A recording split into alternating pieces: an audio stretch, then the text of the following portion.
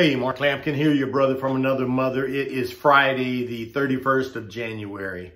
Uh, at the end of the first month of the first uh, year of a new decade. And what a month it has been. Um, you know, that's an understatement, likely. But what's going on in our nation has me at a, uh, at a crossroads emotionally. I'm 65 years old now, and I'm grateful to have achieved this uh, place in my life.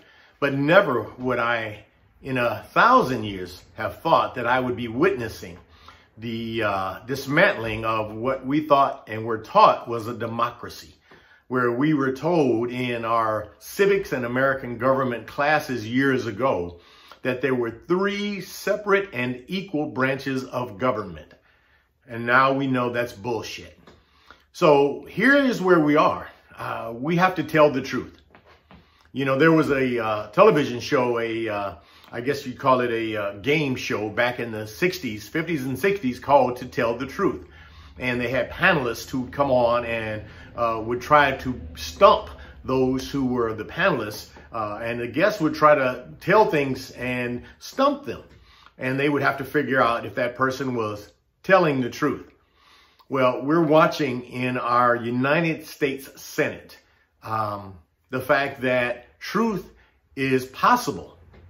Information has been given about Donald John Trump, and the Republican senators don't want to know anymore.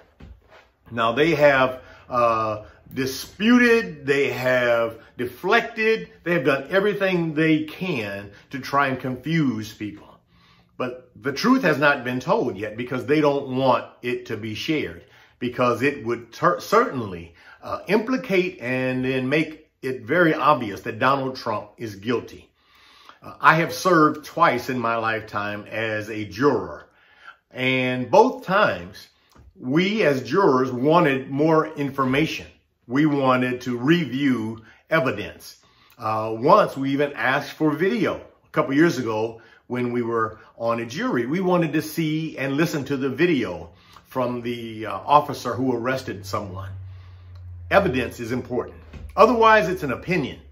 And opinions can be swayed. And what we're also now knowing is that opinions can be purchased. America, it's time to tell the truth. You're either going to be righteous and live up to your standards, live up to your creed, or we're all in trouble. That's it. That's all. Mark Lampkin, your brother from another mother, saying peace and power to us, the people.